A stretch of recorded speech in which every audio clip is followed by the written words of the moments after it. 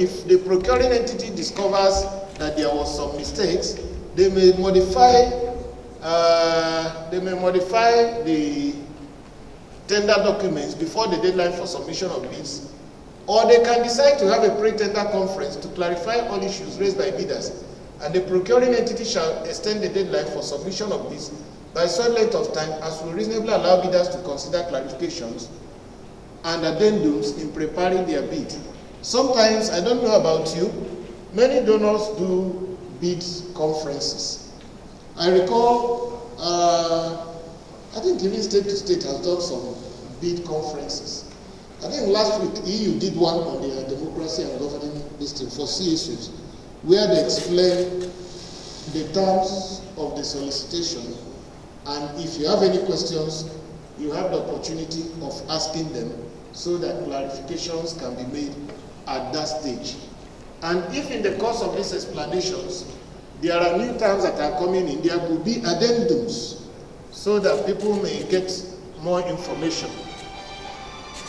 And if the addendums and response to clarifications mean that the, the, the, the, the, the bid may now require a longer time to prepare, there could be extension of time and the notice will be given to every bidder who obtained the tender documents. Bid security. Where a bid security is required is usually 2% of the bid price by way of a bank guarantee. This needs to be stated in the solicitation documents. Is defined in the interpretative section to mean a form of security, assuring that the bidder will not withdraw a bid within the period specified for acceptance and shall execute a written contract within the period specified in the bid it is required to demonstrate the seriousness of a bidder and to guarantee that the bidder shall not withdraw from the tender after the deadline for submission of bids. Do you understand the idea of a bid security? All right. Hello? Okay, that's what is called bid security. The whole idea is that we want to see your seriousness. The procuring entity wants to know you want to actually be involved, not just to pick up forms. It's not like you are paying cash, it's some form of security you get from a bank. Nobody's asking you to part with money. But if you simply want to withdraw inappropriately, you could forfeit that security. So it's usually 2% of the bid price. That's clear, right? Submission opening of bids and observers. Bids are to be submitted and deposited in a tamper-proof box.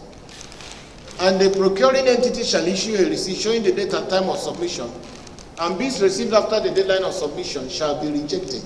You know I mentioned here?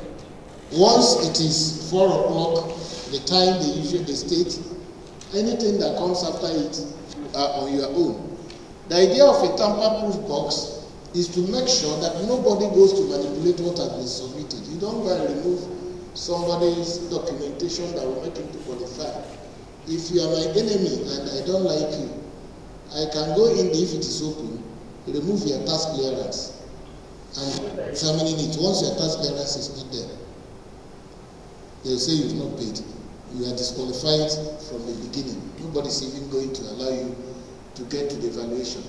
So the best thing is to find two persons who are enemies in the NDA so if me and you they form, we they go out the party, two of us can always agree to come back and listen. But if I two of you don't agree, if you walk this road, the other one will walk. So I will give two of you the keys to the tamper-proof box, so that the chances of two of you conspiring to come together to commit a crime or to manipulate will not be possible. So that's why the key to the tamper-proof box is it how you do it in Gombe? Huh? I heard yes and no. Did you say no, sir? As a practical example to what you are saying, there was a time I was opportunity to witness a bid opening, and somebody brought his bid during the day or during the time when the bid was being opened, and the person in charge asks the audience if they are allowed, uh, if they can allow the person to submit his bid, his bid, and they refuse. So This is an